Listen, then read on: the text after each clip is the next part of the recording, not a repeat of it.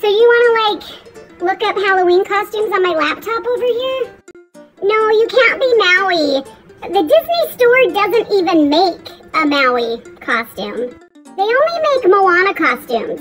But you can't be Moana either because you're white. No, you can't be Maleficent either. Because you're a boy.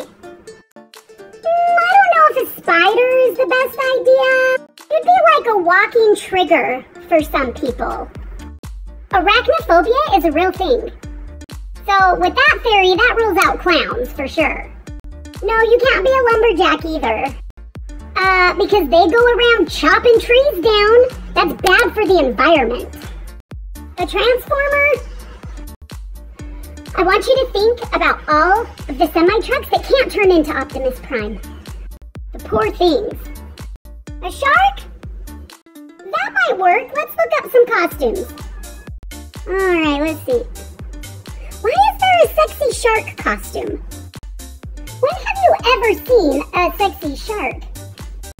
On second thought, we can't do a shark. I just remembered how they kill sharks um, to take their fins for shark soup. It's offensive. No, you can't be a ghost. Because I don't want people to think you're invisible. No, you can't be a dinosaur.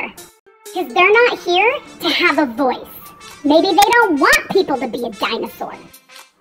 If you dress up as a cupcake, someone might eat you. And don't even ask me if you can be something scary.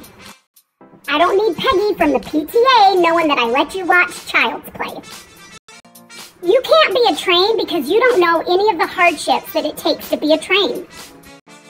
People will lose their damn minds if you dress up like an elf before Thanksgiving. No, you can't be a guy from Fortnite. I don't want the other moms to know that I let you play video games. You can't pick anything with a mask. No.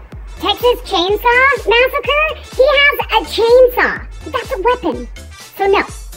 You can't be a zombie because that is disrespectful to all the people who might turn into zombies if we have an apocalypse.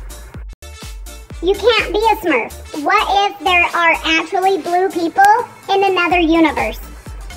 You ever thought of that? You can't be a tiger. Look what happened to Siegfried and Roy. People are allergic to bees. I mean, we're not even going trick-or-treating this year anyway. What if somebody is so high that they give you their edibles? I think the only acceptable thing that you could be is a rock. I don't even know why we still have Halloween.